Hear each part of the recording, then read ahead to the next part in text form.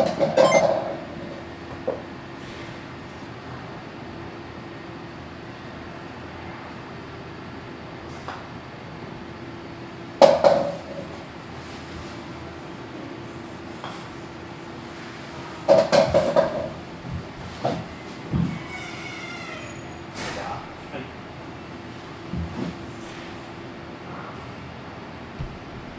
いよ。話して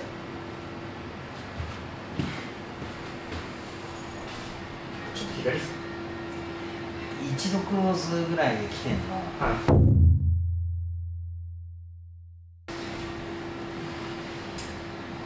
難しいんだけど、は一度クローズで来ててでストロークが今のいいねって言った時はあのちょっとインサイドアウトっぽいとにかくインから入ってきた時の感じが噛み合うとあいいなーって転がりなの。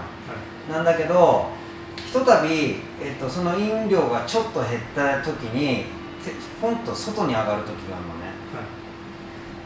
で今の可能性でいくと10%から15%ぐらい。でそうするとひさっきの左2回3回外したじゃん。あれがそれなの。はい。こボールをこっち側に置いてから行くともう異常に左向いてるように見えちゃうの。ああはいはい。そう。でそこでもうあのドラマが始まっちゃうちょっとずれてるかなと。ちょっとくあのフック回転が強すぎてるとど思う、ああはい。でなんかこれとかやった時にさ、はい。もうちょっとこうリセットさせるための練習でなんか強制するって考えないで。はい。あのちゃんとここに合わせようぜっていう話。で合わせた状態で T をここに刺した方がいいかなあわかりましでちょっとちょっとずつ強制ってあのバンって返しちゃダメだよ。たはいだんだん慣らしていった方がいいと思うそれで。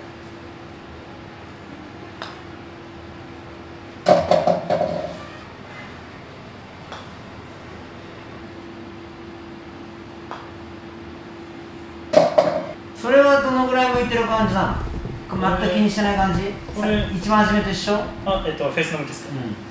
まあちょっと意識してるんですけど。気持ち？はい。もっとやってるんですか？まああと1本行きたいねその線分で。ああいいね。そのぐらいにしたいな。それでもセンターの左が今あそこ入ってたところに向かって打ってる。ああじゃあ。そうですね。やった方が良さそうな感じがしてるしいつかはやんなきゃだな、はい。いやなんかこれをやらないと多分このフェースの向きだと逆に緩みそうな気がしてきたっすこれハンドファーストにすると逆にこうなるってことないですか？手出すとフェースで開きやすくなるのイメージ。そうだね。それが立てるとかちょっといや向きやすいやつよ。自分の目線があるから、ちょっと立てた感じだと少しこう右向きやすくなる場合もあるし。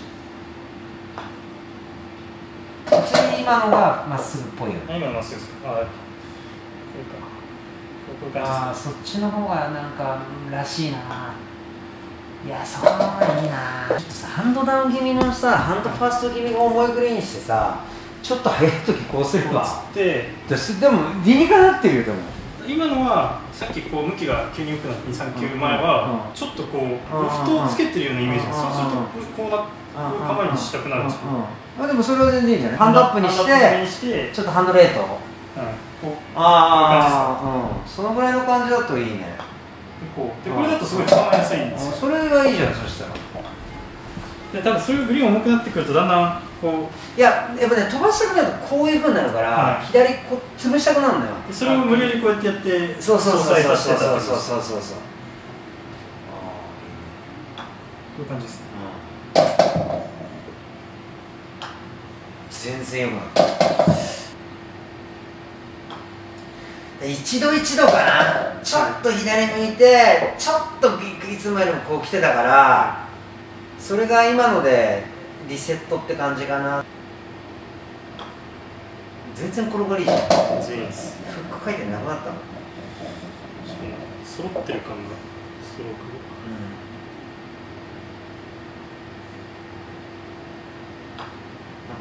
あれが耐えるんだよ。